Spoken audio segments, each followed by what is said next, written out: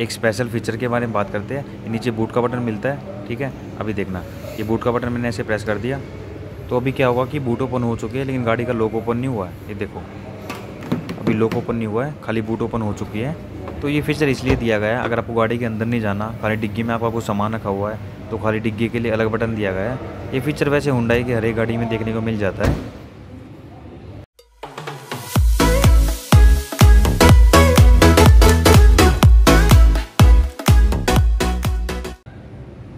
Hello दोस्तों, ये है हुंडई वेन्यू अभी ये एक ऐसी गाड़ी है, जब ये लॉन्च हुई थी ना तो इसकी इतनी सारी बुकिंग एकदम से आ गई थी कि कंपनी पे काफ़ी ज़्यादा वेटिंग टाइम चल रहा था इसका। अब यार वेटिंग टाइम तो चलेगा, क्योंकि एसयूवी सेगमेंट की गाड़ी है, इतने अच्छे प्राइस में, इतने अच्छे लुक्स है, इतनी अच्छी पावर है तो वेटिंग टाइम तो बढ़ना ही था। तो आज हमारे सामने ना बेस मॉडल है, जो कि वेन्यू आई टर्बो तो आज देखते हैं इस बेस मॉडल में हमें क्या क्या फीचर्स मिलते हैं।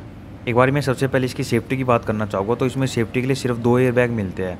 टॉप मॉडल में हो सकता है आपको छः एयर बैग का ऑप्शन मिल जाए, लेकिन इसमें सिर्फ़ दो एयर बैग मिलते हैं। फ्रंट से देखते हैं इसमें क्या क्या मिलता है। इंडिकेटर मिलते हैं इसमें हेलोजन बल्ब के साथ। हेडलाइट भी इसमें हेलोजन दी गई है। टॉप मॉडल में यहाँ पे एलईडी मिलती है। नीचे यहाँ पे फोगलाइट स्पेस है। टॉप मॉडल में यहाँ पे फोगलाइट दी गई है। क्रोम की काफ़ी अच्छी ग्रिल हुंडाई का लोगो फ्रंट ग्राउंड क्लियरेंस काफ़ी अच्छा है, क्योंकि एस सेगमेंट की गाड़ी है। ये वैसे हमारे सामने वाइट कलर है, लेकिन इसके अलावा हमें सात कलर के और ऑप्शन देखने को मिलते हैं वाइपर मिल जाते हैं। ऊपर अपने को रूफ भी मिलती है। इसके कंपेयर की बात करते तो इसके कंपेयर में Renault Kiger Vitara Brezza Kia Sonet Hyundai Creta Tata Nexon ये सारी गाड़ी इसके कंपेयर में आती है, क्योंकि सारी गाड़ी ऑलमोस्ट एस सेगमेंट की है। तो जल्दी ही मैं कंपेयर वीडियो बना हुआ आपकी कन्फ्यूज़न दूर हो जाएगी काइगर ले ब्रेजा ले वेन्यू ले सोनेट ले टाटा नेक्सोन ले, और भी काफ़ी सारी गाड़ियाँ हैं। तो सारी कन्फ्यूज़न दूर हो जाएगी आपकी। साइड इंडिकेटर मिल जाते हैं। आईएमटी का लोगो मिलता है यहाँ पे। और ये प्लेन साइड मिरर इंडिकेटर यहाँ पे नहीं मिलता क्योंकि वो साइड में दिया गया है। तो 15 इंचज़ के इसमें व्हील मिलते हैं। यहाँ पे टायर साइज़ भी लिखा हुआ है। फ्रंट में डिस्क और रियर में ड्रम ब्रेक्स मिलते हैं इसमें। और काफ़ी अच्छा इसमें ग्राउंड क्लियरेंस मिल जाता है 190 नाइन्टी mm का। प्लेन डोर हैंडल मिल जाते हैं। एक बारी बैक साइड में चलते हैं। देखते बैक साइड में क्या क्या मिलता है। ऐसे ही इसमें बैक साइड के लुक्स मिलते हैं। बैक टेल लैम्प भी इसमें हेरोजिन बल्ब के साथ दी गई है। एक बार मैं इसको ऑन कर लेता हूँ। ये देखो, नीचे टर्बो की बैचिंग मिलती है। यहाँ पे बैकलाइट मिल जाती है। और ये पार्किंग सेंसर वेन्यू की ब्रांडिंग मिलती है। होंडा का लोगो मिल जाता है। ब्रेकिंग लैम्प मिल जाती है। ऊपर शार्पिन एंटीना मिलता है। एक बार बूट भी ओपन कर लेते हैं। बूट स्पेस इसमें काफ़ी अच्छी मिल जाती है। 350 लीटर की बूट स्पेस मिलती है। यहाँ पे कुछ टूल्स है। लाइट भी मिलती है। हुक वगैरह मिल जाते हैं यहाँ पे। नीचे एक स्पेयर व्हील मिलता है। 14 इंच का। तो मतलब ठीक है, बूट स्पेस के मामले में तो कमी नहीं है। मैनुअली इसको बंद करना पड़ेगा।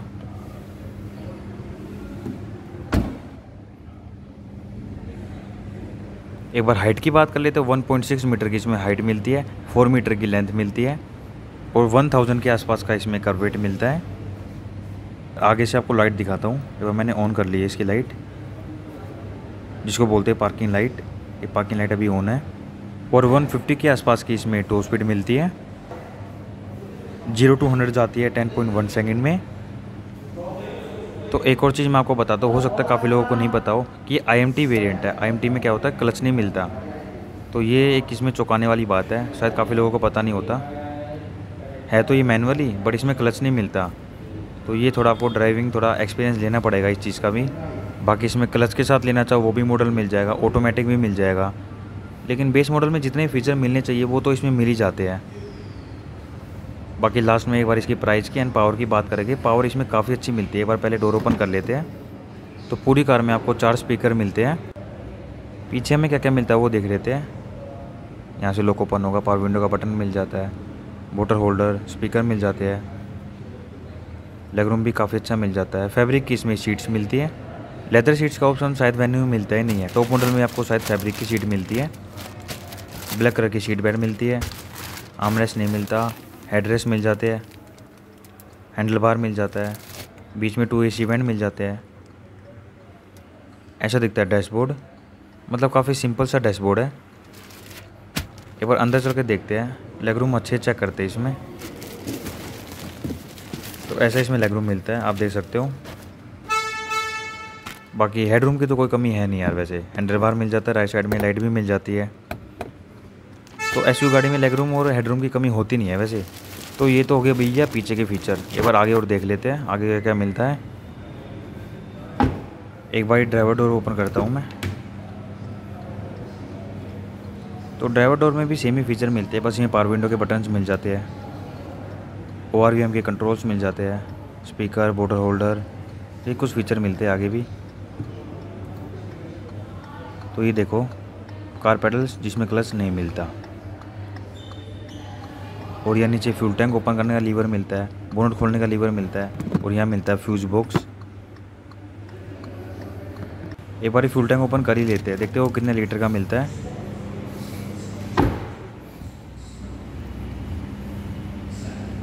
तो ये अपने को मिलता है 45 लीटर का।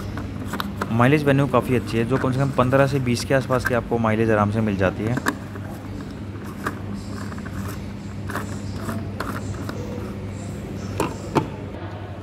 लाइट्स की कंट्रोल मिल जाते हैं आगे। और ये राइट साइड एसी वेंट अंदर चलते हैं बारी अंदर से वो देखते हैं, क्या क्या फीचर मिलते हैं। ऐसा व्यू दिखता है इसमें, आगे का।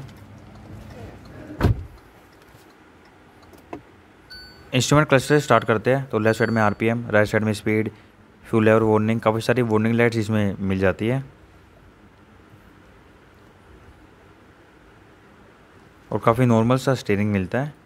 लेफ़्ट साइड में वॉल्यूम के कंट्रोल्स फ़ोन के कंट्रोल्स मिलते हैं। राइट साइड में इंस्ट्रूमेंट क्लस्टर के कंट्रोल मिल जाते हैं। ये देखो। यहाँ से एडजस्ट होगा ये।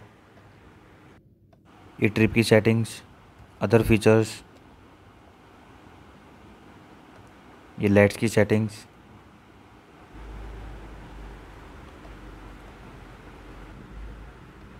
और ये लेफ़्ट साइड में वाइपर कंट्रोल और इस साइड में लाइट्स के कंट्रोल मिल जाते हैं। और इसमें बटन्स वाला म्यूज़िक सिस्टम मिलता है।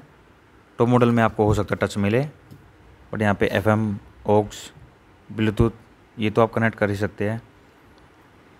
तो बटन्स वाले में यही सब दिखता है। ब्लूटूथ वगैरह काफ़ी नॉर्मली होता है वो।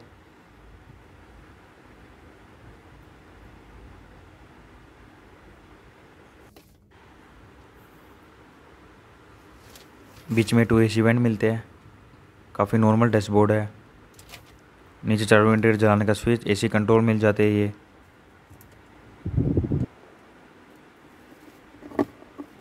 नीचे ट्वेल्व का पोर्ट यूएसबी पोर्ट मिलता है एक। सिक्स स्पीड का इसमें मैनुअली गेयर नॉक मिलता है। आगे स्पेस मिल जाती है two cup holder hand brake armrest भी मिलता है इसमें। आमरेस्ट के अंदर भी स्पेस मिल जाती है। ऊपर भी स्पेस मिलती है। नीचे भी स्पेस मिल जाती है ग्लो बॉक्स में। और ये एयरबैग की बैचिंग ऊपर सनवाइज़र मिरर के साथ। इस साइड में सनवाइज़र मिलता है बट यहाँ पे मिरर नहीं मिलता। ये रियर व्यू मिरर लाइट इसमें नहीं मिलती बेस मॉडल में। ठीक है, काफ़ी अच्छे फीचर इसमें मिल जाते हैं, लेकिन रियर व्यू मिरर के यहाँ पे लाइट मिलती है, वो भी दे सकते थे। बट एक बार इसका बोनट ओपन करते हैं, देखते हैं इंजन पावर इसमें क्या मिलती है। यहाँ से ओपन होगा।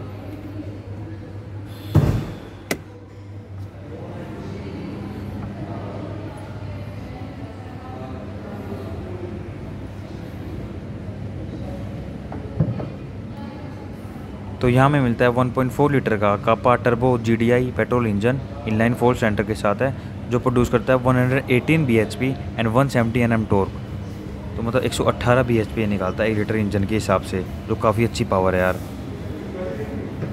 प्राइस की बात कर ले तो टेन लैख थर्टी थाउज़ेंड के आसपास ऑन रोड इसकी प्राइस है। तो इस गाड़ी को हम वैल्यू फॉर मनी के नज़रिए से देख सकते हैं, काफ़ी अच्छी है। कुछ और फीचर ऐड ऑन हो सकते थे, लेकिन फिर भी कहीं ना कहीं अच्छी है। तो वीडियो पसंद आएगा तो लाइक, सब्सक्राइब ज़रूर करना। मिलते हैं नेक्स्ट वीडियो में जल्दी। Good luck